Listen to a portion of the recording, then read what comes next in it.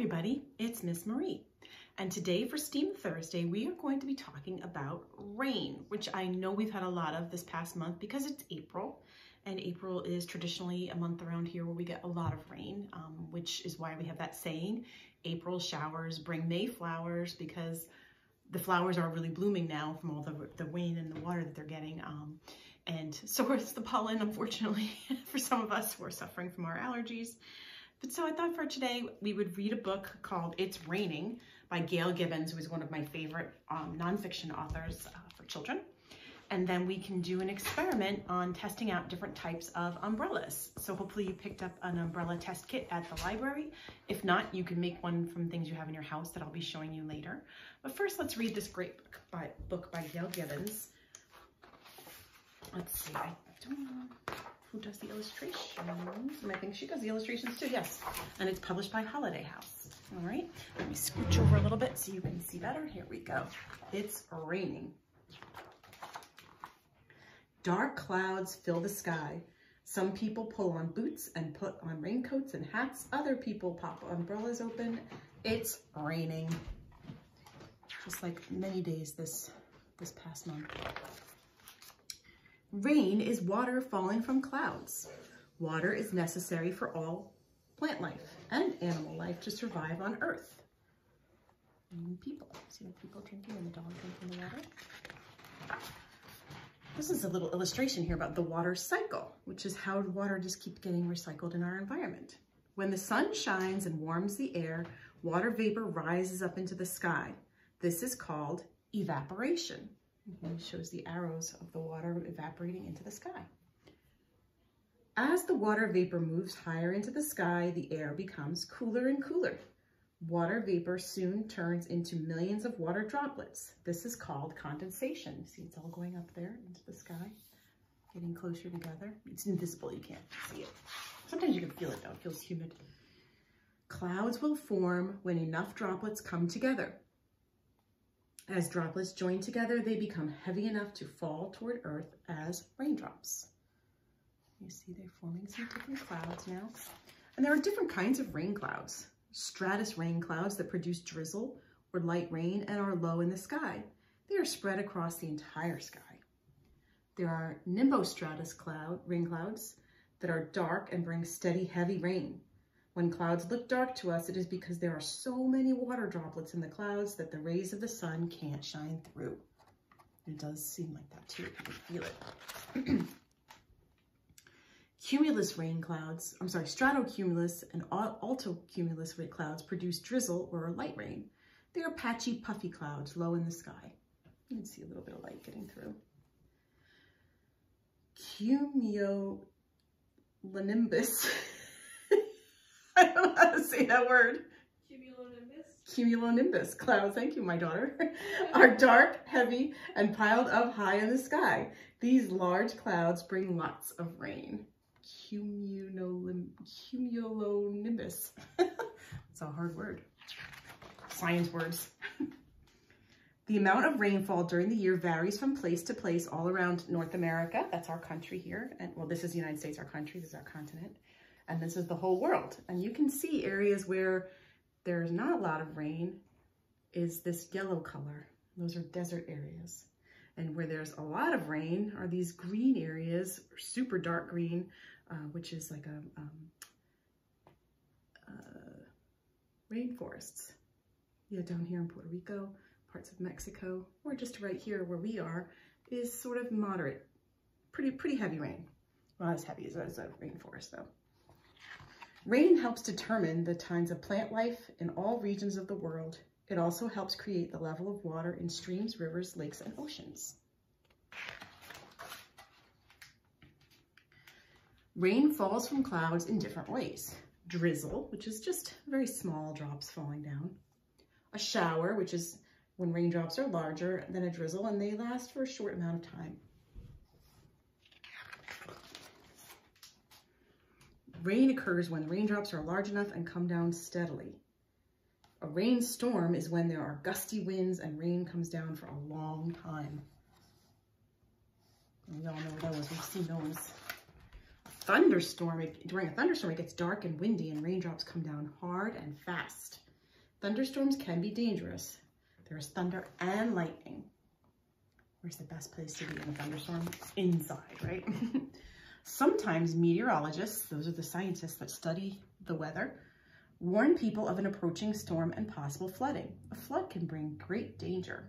Floodwaters can rise quickly and people, people living near streams, rivers, and lakes are sometimes advised by meteorologists and authorities to evacuate. Happens sometimes. After a major rainstorm or flash flood has passed, there's often damage. The cleanup crews get busy. How a lot of times you'll find trees down, sometimes power lines come down.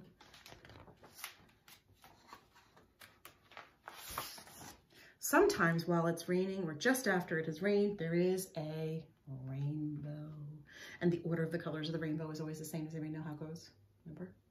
Roy G. Biv. Here we go. Red, orange, yellow, green, blue, indigo, and violet. Roy G. Biv. Here it tells you how to stay dry outside when it rains, which is what we're going to work on today, an umbrella.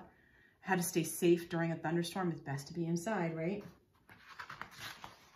And there's just some other ways that rain can, affect us. Fog and drought when there's not enough rain, monsoons when there's too much rain. So lots of interesting facts at the back of this book too. So as I said, Gail Gibbons is one of my favorite authors for nonfiction for children. This was a really great uh, book about rain, teach, teaching us a lot and very helpful pictures too. Okay, I'm going to turn the camera down. I'm going to bring over things that you'll need from your own house, a plate, some water, and maybe some scissors or glue or tape. So we're going to be experimenting. I'm only going to show you a little bit of an experiment that I'm going to do with some materials that I had at the library. But if you um, didn't pick one up at the library, you can do this with things from home too. You can use a little, I use a little dinosaur figure here. If you have any other kind of little plastic figurine, that would be really helpful. We're going to see if we can make an umbrella to keep this guy dry. Now his feet are going to get wet, um, just like our feet. So, I mean, I suppose you could make little teeny tiny rain boots for him. I don't know how that's going to work for me, so I'm not going to do that. I'm going to try to make a sponge into an umbrella and see what kind of umbrella it makes. I have some bits of straw that I've cut up. This also will be in your kit where you can get them from home. And I cut some holes into my into my um, sponge to fit the to fit the uh, straws in there. I'm gonna make a little tent sort of out of my um, um, my piece of, of sponge. And I'm gonna pour some water on the back of the sponge and see what happens. Oh, okay, well so far, so far his feet are dry. Let's keep going. Oh, okay, it's okay. It's absorbing a lot of water. Hmm. So far, so good. Yeah, he's dry. Even his feet are still dry. But what if we did a lot of water? What's going to happen? Well, I don't know if you can see. There's a drop of water on him. So I think, oh, and my, and my sponge is collapsing. I think we may have reached um, the limit of how good of an umbrella this sponge is making. Um, yeah, he's got some droplets on his back now. And his feet are wet because it stopped absorbing the water.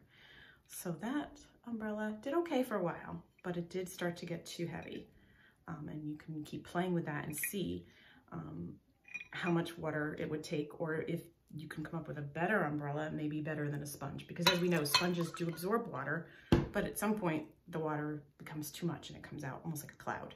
Just like we were saying how the clouds have all that water droplets in it and they get too heavy and the droplets fall. That's what's gonna happen with the sponge. I also have here a cupcake, cupcake holder that I can, well, I don't know, I can maybe put, oh, maybe I can put this like this make some sort of an umbrella out of that. Oh yeah, maybe I can fold it in half. Make an umbrella out of that. And stick this in around. I think if I had tape, I could do that. And see how this does as an umbrella. And dry him off. I, I, I poured the extra water out of my plate too, so it's not soaking wet. And let's see.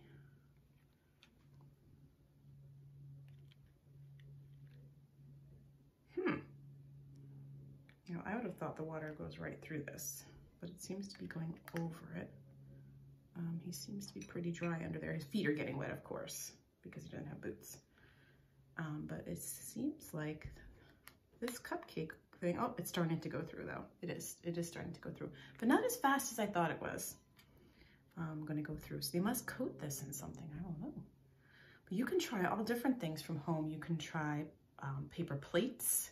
You could try tinfoil, a plastic bag, whatever you like. Just try to make the best umbrella you can. Um, and you have these little straw bits to make a holder for it or to push it up if you like, or you can just put it right over him like that. And see, oh, it's definitely starting to go through now.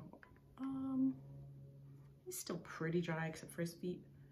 So this, uh, this is actually doing much better than I thought it would. It's starting to go through a little bit, you can see on the back, but nothing too bad yet.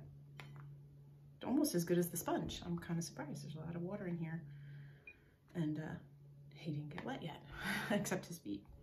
All right, so enjoy uh, playing with different uh, designs for umbrellas. Let me know what you come up with, what's your best umbrella, and have a lot of fun today and uh, make some rain. All right, I'll see you next week.